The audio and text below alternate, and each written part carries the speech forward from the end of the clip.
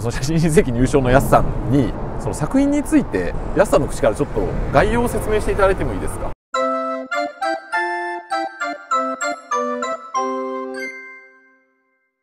タイトルは0546神戸というタイトルなんですけど数字の意味が意味がありまして5時46分を表した0546という意味なんです。えこれは、えー1995年の阪神・淡路大震災。1月17日に起こった出来事なんですけどもこれを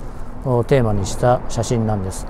えー5時46分の定点観測で撮る街を撮った写真を取り集めています。ところが当時の写真っていうのはあのは一切写ってません。今の神戸の街の写真であります。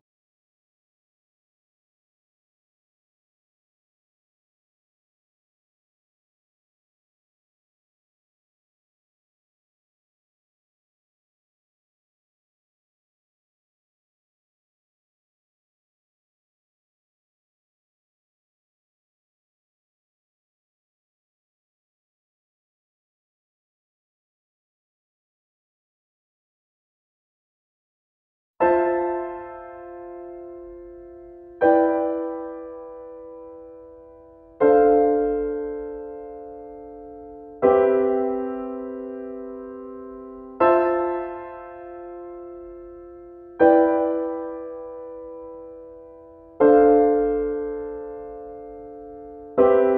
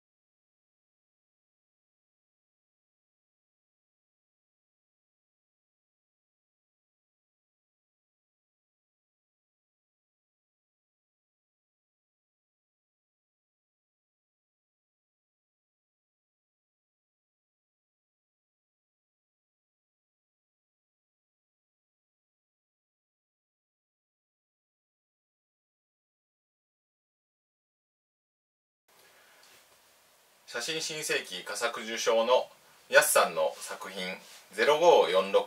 神戸のスライドショーでした。この次の動画からこの作品についてやすさんに、えー、とインタビューしていろいろ教えてもらいます。どのように作っていったかとかそもそも何でこういう作品を作ろうと思ったのかそういういろんなことを根掘り葉掘り聞いております。自分で作品を作ったりとかしてる人やこれからしようと思ってる人何かの参考になると思うのでぜひ聞いてください。よろしくお願いします。